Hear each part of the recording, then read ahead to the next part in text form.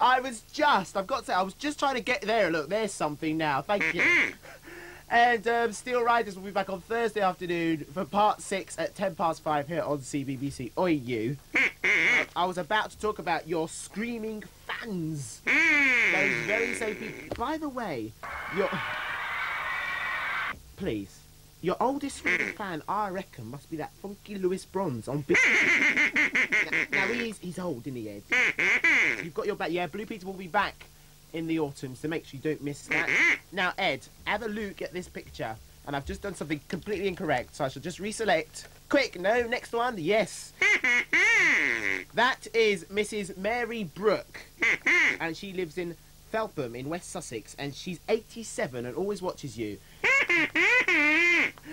Exactly, 87. Mm-hmm. But is she the oldest screaming fan?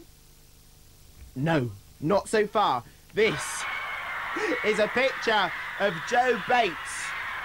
And oh, how do I stop that? Stop your screaming fans. Go away. Mm-hmm. Go away. Joe Bates was 96 years old. Mm-hmm. Whap. Joe, thank you for the picture. But are there any older screaming fans? That's what we want to know, isn't it? You don't think there can be? Somebody might be 100, and then they would have had a telegram for the Queen.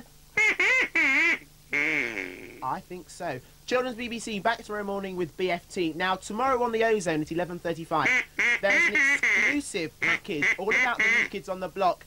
You've got to watch it. You cannot miss it. That's tomorrow morning at 11:35. What you also can't miss is Children's BBC in the afternoon, starting at 10 past 4 with the Ewoks. There's also Know How at 25 to 5.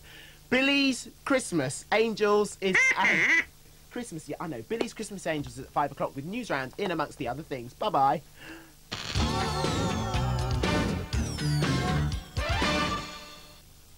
What's brand new, trivial yet attractive?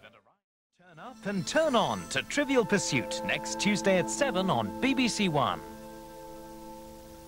Soon to be a milestone in British broadcasting as we draw nearer to episode 1000. Well, tonight's is 988, here on 1.